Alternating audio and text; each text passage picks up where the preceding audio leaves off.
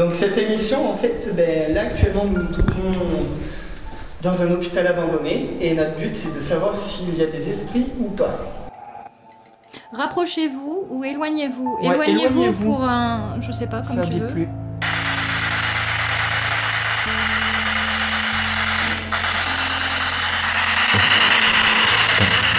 Non, Ouais.